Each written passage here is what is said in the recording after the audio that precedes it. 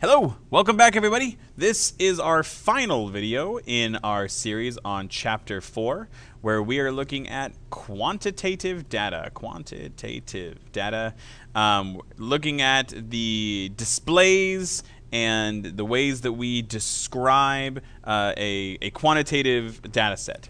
So in our previous videos, we talked about uh, the center and the shape, not the centers, the center and the shape.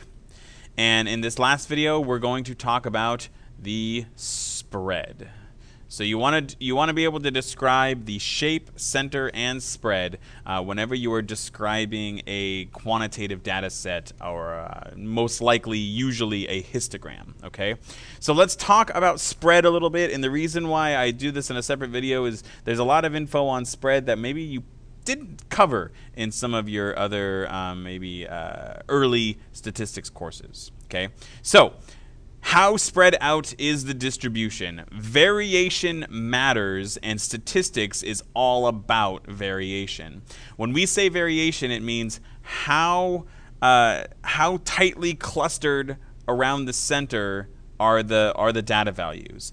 Are they really close, or are they really far away? Okay? We always want to report a measure of spread along with a measure of center when we're describing uh, a distribution numerically because things can have the same mean but have vastly different standard deviations which makes their distributions totally different. For example, uh, if we were to have a distribution that was uh, like this, very tightly compressed, uh, around the center, right? Here's your mean,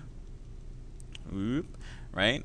And uh, most of the data is very, very close to that mean. That is a totally different situation than something like this here. In both cases, the mean, the, the mean could be the same, right? Let's call it 10, right? Okay, the, the mean of both of these uh, distributions could be 10, but this is vastly different type of distribution because the spread is so different, right? If we were trying to, uh, say, uh, do something accurately or make an accurate prediction, uh, this kind of distribution on the left would be really good. We could make a more accurate prediction because most of the data is in the right area or in the center area, so it would be easier to uh, have an accurate prediction. Whereas over here, the data is so spread out that making an accurate prediction would be very difficult. So this could be come into play in, in many different types of situations, whether you're um, trying to uh, do something in physics where you're shooting a, a, catapult and you want it to land in a certain area, uh, but it could also be really important in like building situations. You know, you're trying to figure out the tensile strength of the rivets that go into your airplane wing. You don't want something that has weird fail rates that are totally spread out. You want that stuff on lockdown because if a plane wing falls off, uh, then obviously people are going to die. Okay, so you want. Uh, there are situations where it's really important that the data set uh, be be really close together. So um, the spread is a really important thing to look at. We have a few different ways of measuring the spread. The first is the range. And the range of the data is the difference between the maximum and minimum values. So you just take the biggest value, subtract the smallest value. Um, it's a good way of seeing the total difference in your distribution. However, uh, a big disadvantage of this is that if there is any extreme values, it makes that number not as useful. Okay, uh, anything with a with an outlier, suddenly your range is going to be much bigger, and therefore maybe not representative of the spread. Okay, so the range we can look at just to see a top to bottom. How how far does this go? Uh, we can also look at what's called the interquartile range. And the interquartile range lets us ignore the extreme data values and just concentrate what's on the middle of the data. Of the data. So to find the interquartile range, uh, we need to know what quartiles are. So you may have done these uh, way back in the day uh, in your seventh grade stat stats section that you did. Um, but the quartiles basically break up a data set. So you've got uh, the minimum, and then you've got in the middle, you've got the median, and then on the end, you've got the max. Between the median and the max, you have quartile 3, and between the, the minimum and the median, you have quartile 1. Here you have four quartiles, right? You've got the smallest quartile, you've got uh, the quartile, the second quartile here, which is uh, sort of in the middle, and then you've got the third quartile and the fourth quartile. Notice that they break the data into quarters or quartiles. Um, the interquartile range is the difference between the upper quartile here, right? The quartile 3, also known as the upper quartile, uh, and the lower quartile. So we're looking at the middle 50%, okay? The middle 50%. That allows us to look at the middle, ignoring the extreme values uh, that might come from looking at the min and the max. So, for example, uh, this is that earthquake data again. This minimum is very small and far away from the rest of the data. The interquartile range tells us the middle 50%, and that's just this area right in here. So seeing the difference in the middle 50% uh, can help us maybe get a much better idea of just how spread out the data values are. Because if we know where the median is, we can see how big of a difference the middle 50% is. Is the middle 50% very spread out, or is the middle 50% fairly close together?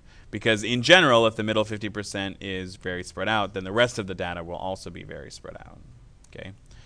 So interquartile range measures between the quartiles. Uh, here we have the five number summary. This is a, a summary of the the five um, uh, numbers, extremes, uh, quartiles, whatever, uh, that when you look at a data set you might see. We're going to use this more in the next chapter when we make what's called a box and whisker plot. Uh, you probably heard of that before. Hopefully, you saw that in one of your, you know, seventh grade statistics things. Uh, but we're going to use that more a little bit later. So we're going to kind of skip that and talk about this really important thing called the standard deviation. So the standard deviation is kind of the best measurement of spread. IQR is good. It works in situations when the standard deviation doesn't. Um, but the standard deviation is is the best, right? Um, what the standard deviation does is it takes into account how far each data value is from the mean. So a deviation is the distance that a data value is from the mean. Since we're adding all the deviations together would total zero, we square each deviation and find an average of sorts for these deviations. So to give you kind of a picture for that, imagine that this is your mean right here. The standard deviation is taking uh, every data point. So let's let's draw in some uh, some bars here to do this example. I cannot draw bars. It's just awful. Um, what the standard deviation does is it takes every single point of data in this bar and it measures how far it is from this mean value in the center. So we're taking all of them, every single data value. We're going to take every single data value in the entire set and we're going to calculate how far away it is from this mean right here. And then we find an average of those deviations.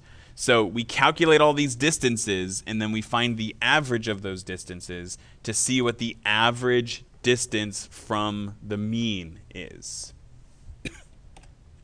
There's a formula for it.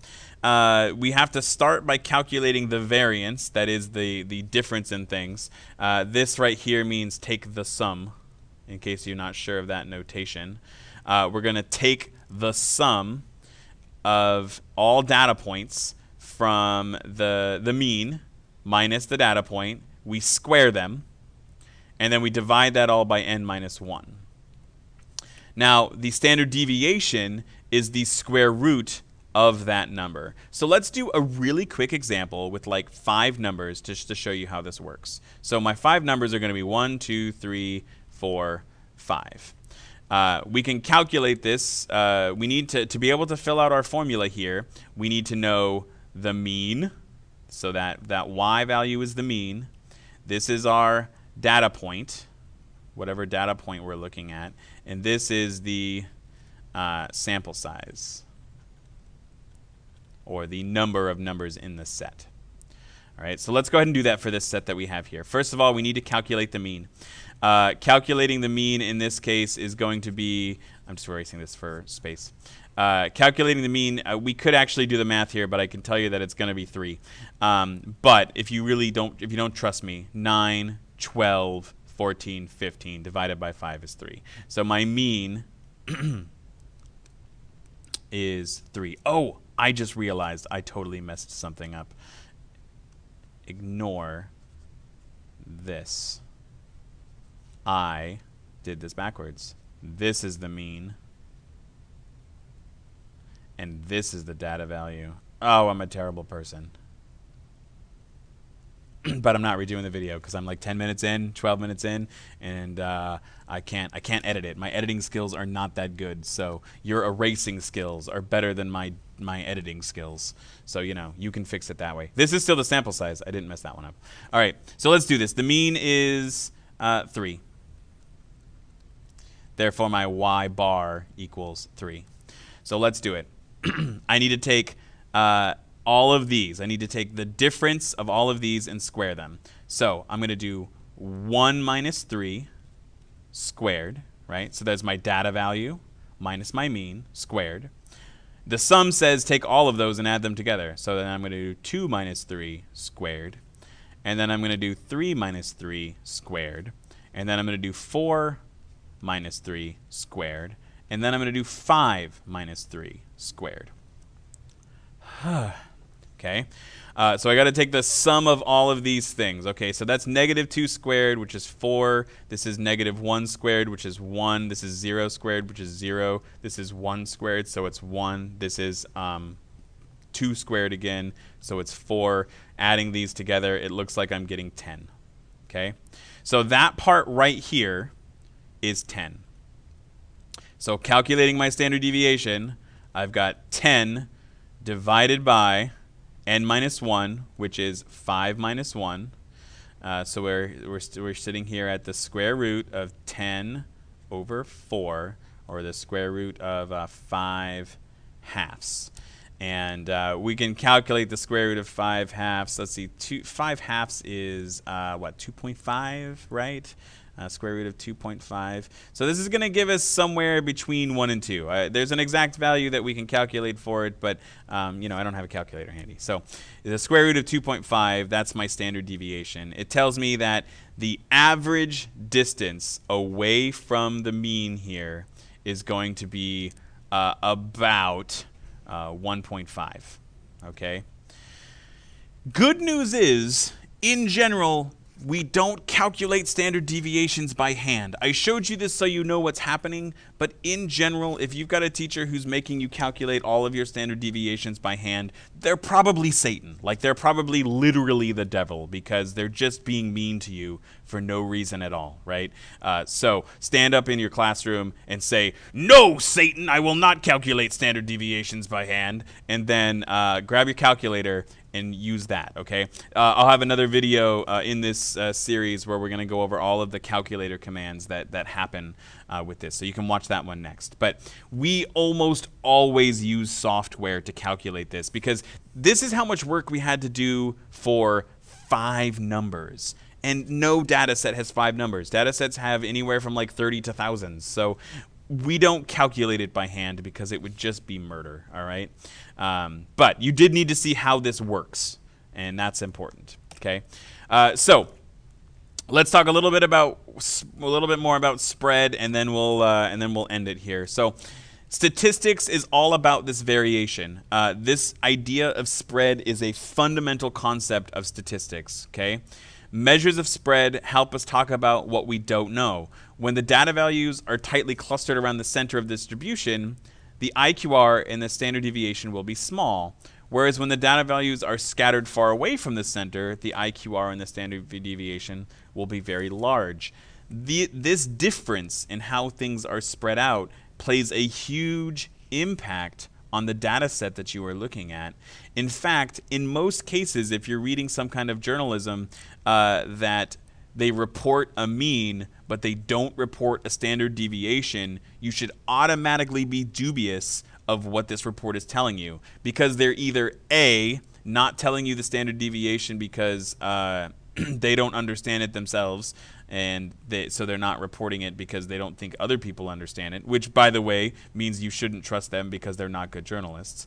Or B, they're trying to hide something from you, and you shouldn't you shouldn't be trusting anything if they're trying to hide something from you. So you should always see a mean with a standard deviation or uh, a median with an interquartile range because they go together, right? We need to talk about center and spread, not just center. Centers don't mean anything by themselves. You need a spread to talk about it as well.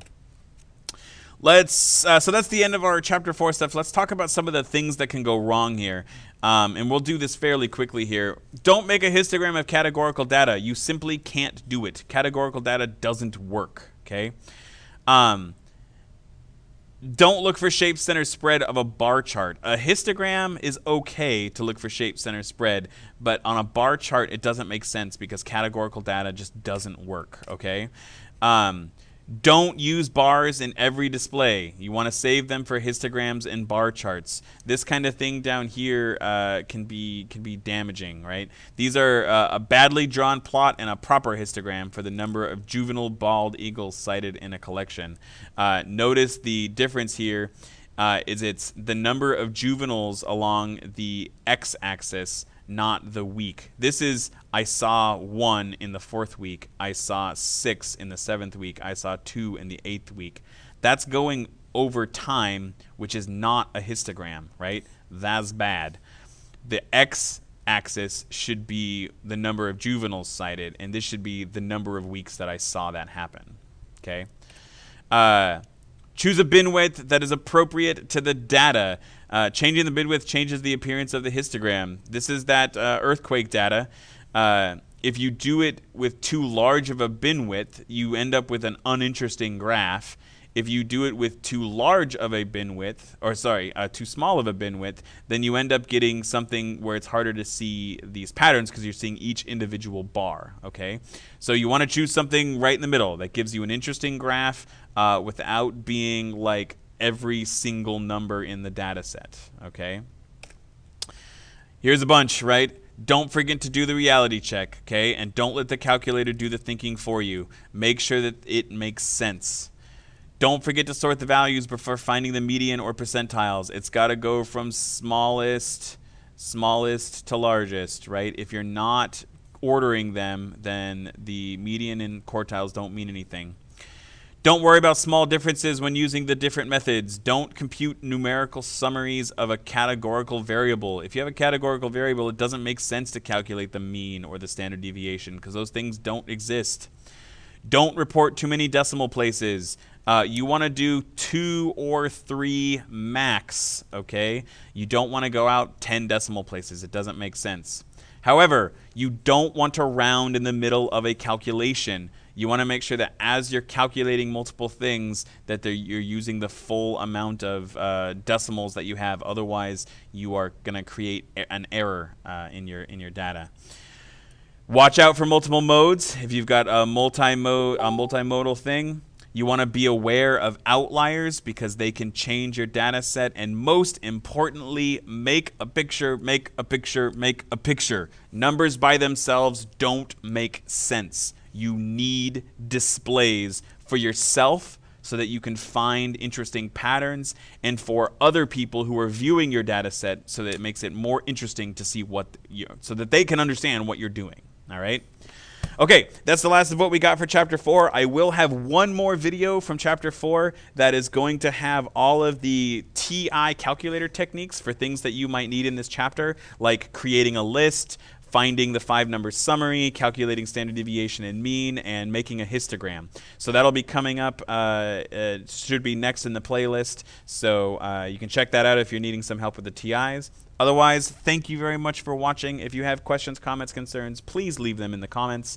Um, and uh, yeah, thanks for watching. I will see you another time.